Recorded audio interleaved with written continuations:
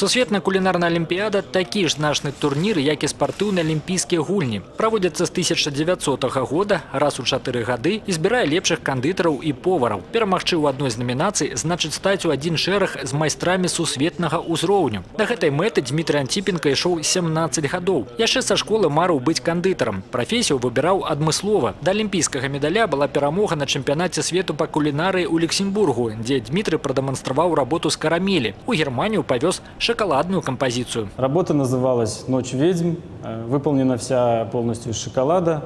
Э, Сюжет взят э, праздник Хэллоуин.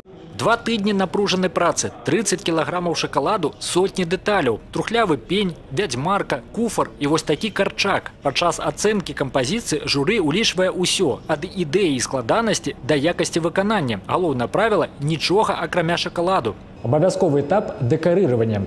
Вось такія грыбочки, галінкі, аўтэнтычныя цвікі. Вось такія дробязі робяць звычайную працу кандытара творам сапраўднага мастацтва.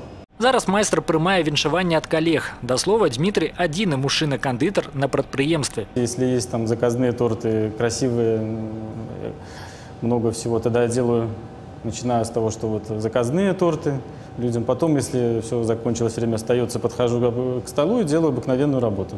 То есть э, обыкновенные, стандартные, поточные торты и пирожные.